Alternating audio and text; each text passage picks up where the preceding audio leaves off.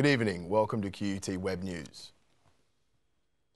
Around 330 positions are to be axed from the Queensland Police Service to cover the $27 million gap in the government's police budget. The Minister for Police announced the decision in Parliament yesterday. The projected job losses come about because of a bigger than expected pay rise for police granted by the Industrial Commission. The Minister of Police says that has left a funding gap which will have to be funded by the police service's operating budget. The police service will fund a share of the increase of around $27 million a year from its $1.893 billion operating budget. Around 250 civilian positions have been cut, along with a further 80 planned positions withdrawn. It is a decision the Queensland Police Union says has come from a deceitful government. This is what I'm expecting of this current government. They say one thing in one day and then another thing the next day. They're just completely deceitful and out of touch. The Queensland Police Union say the administrative position cut will mean that some frontline police officers will be forced to desk jobs and maintenance work to meet the department's increased wage bill. Cutting 330 administrative jobs from the police service will directly impact upon service delivery of policing functions around the state of Queensland. The police commissioner says the department's headquarters will be hit hardest with cuts up to 7% of its civilian staff numbers. What we're doing is taking by far the biggest hit here in headquarters. Uh, percentage wise, it equates to about a 7% reduction in our civilian staff numbers. The Shadow Minister for Police says the situation is because of poor budget management by the government. Well, there's no doubt that if the Labor government could manage their budget properly, we wouldn't be facing the situation that we currently are. Mr. Lanebrook claims the cuts will affect things such as triple zero emergency calls. It's going to affect our whole police service. 10,500 police are now going to have to fill, uh, fill in with jobs that they were currently uh, not having to do, and things like people waiting for triple O calls to be answered is going to become commonplace. The job cuts are expected to be in the form of voluntary redundancies, and the process is likely to take around five months. Nicholas Chin, QUT News. Three drugs charges has been filed against the 14-year-old Australian boy who was arrested earlier this month in Bali for alleged cannabis possession. The boy faces three charges, the most serious of which carries a six-year jail term. The Australian schoolboy has been spending the last few days in an Indonesian detention centre with his family.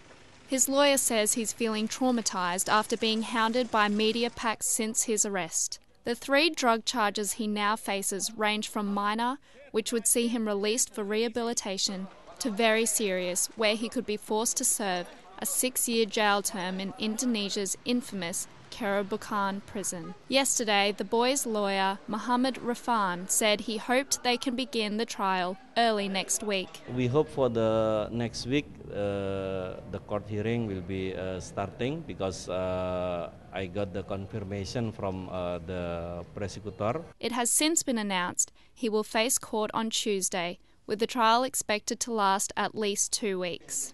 Natalie Ross, QT News. The Australian schoolboy has been spending the last few days in an Indonesian detention centre with his family. His lawyer says he's feeling traumatised after being hounded by media packs since his arrest. The three drug charges he now faces range from minor, which would see him released for rehabilitation, to very serious, where he could be forced to serve a six year jail term in Indonesia's infamous Kerobokan prison. Yesterday, the boy's lawyer, Muhammad Rifan, said he hoped they can begin the trial early next week. We hope for the next week uh, the court hearing will be uh, starting because uh, I got the confirmation from uh, the prosecutor. It has since been announced he will face court on Tuesday with the trial expected to last at least two weeks. Natalie Ross, QT News. A technical glitch caused major disruption today at the Australian Securities Exchange. Trading was halted just after the opening and did not resume for four hours. On a normal day, the exchange trades about a billion dollars an hour, so the potential losses were huge. However, the ASX says all of the 6,700 trades that were made this morning before the technical glitch are still valid. As soon as trading did resume, Australian shares immediately jumped 2%. The ASX is investigating the cause of the glitch, but analysts say the impact has been minimal. A new study has shown that mothers in higher income areas are more active than those in lower socio-economic areas. The Brisbane mums were tracked by a check in system while using social media networks.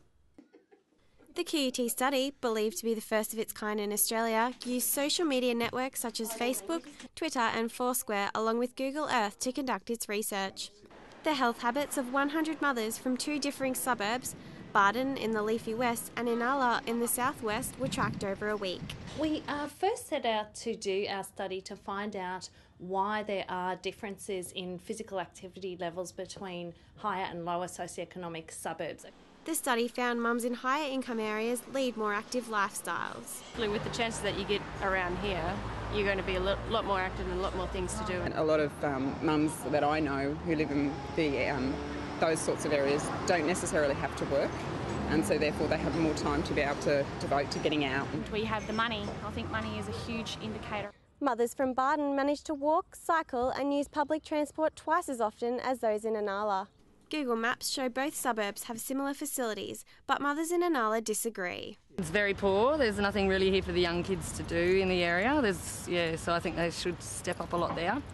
There's no, there used to be pools and skating rinks and whatnot down the road. They're derelict buildings now. The nicer areas will have nicer parks and, and better facilities for families and children. It's hoped the results from this survey will help town planners, councils, and health professionals to work on improving these statistics increasing the maintenance of local parks and improving the playground areas for children, whether it's having um, more security around the place or whether it's just um, investing in funding to go and maintain and improve and clean up local areas. Alicia Bolson, QUT News. The United Nations says easing poverty and conserving the environment will be the main challenges posed by the world's burgeoning population. The concerns were voiced after the announcement that Earth's population will hit 7 billion in the next couple of days.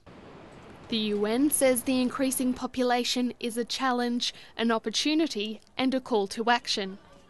Today's milestone, that is the milestone of this report and the 7 billion that we anticipate, is a wake up call. Now, it is a reminder that we must act now a Brisbane demographer says it's important to note the population growth rate has actually fallen in recent times. If we manage our consumption levels and if we have the technology, there's no reason we shouldn't be able to feed um, the extra 2 billion we're going to have in population by 2050. The Vatican told QUT News that the current population is sustainable. It quoted Mother Teresa, who once said, How can there be too many children? That is like saying there are too many flowers.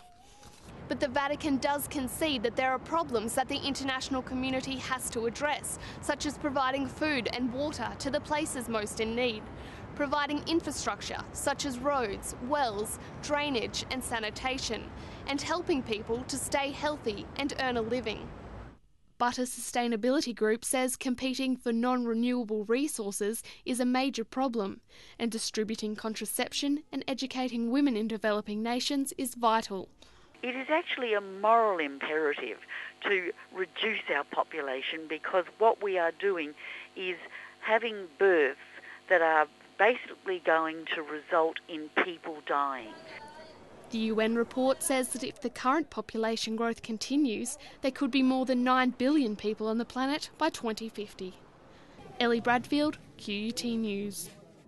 People around Australia are preparing to mark the annual Day for Daniel marking eight years since Daniel Morcombe was abducted and murdered.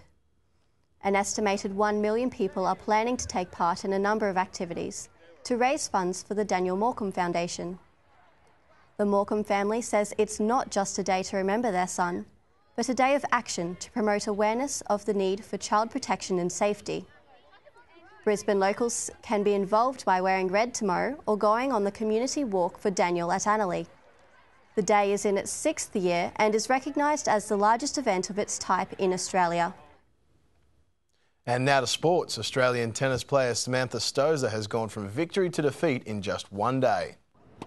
Sam Stosur has been brought back to earth with a loss to Victoria Azarenka at the WTA Championships in Turkey. The world number seven, who recently beat her nemesis Maria Sharapova, suffered a 6 2 6 2 loss to the Belarusian. Stosur now has to defeat China's Li Na in her final round robin match on Saturday to reach the semi finals. The Queensland Bulls have defeated the Tasmanian Tigers in the Sheffield Shield game at the Gabba today. The Bulls made it look easy, winning by an innings and 28 runs. Excitement is starting to spread across the nation as we head towards the Melbourne Cup on Tuesday. This weekend, all eyes are on three year old Mano Inui for Saturday's Victoria Derby. He's drawn the middle barrier, which experts say will give the favourite every chance in the 2500 metre event. But jockey Craig Williams may lose his chance at a historic Triple Crown this racing season. Williams was suspended from racing for 10 days after careless riding at Bendigo yesterday, ruling him out of Tuesday's Melbourne Cup. He was tipped to become the first jockey to win the Caulfield Cup, the Cox Plate, and the Melbourne Cup in the same spring. Williams is appealing the severity of the penalty at Flemington tomorrow morning. And in soccer, the Brisbane Roar are confident they'll put up a good fight against Adelaide United tomorrow. The Roar's 31 game unbeaten streak is not only intimidating Adelaide. It could have been a bit of a burden, but we've actually used it as a bit of a you know, uh, a motivation for us to keep it going, you know. And uh, we all know we're going to lose at some point, and we all know that's when that happens, uh, we're going to come back here and train again like we always have. Brisbane and Adelaide will play at Suncorp Stadium tomorrow night.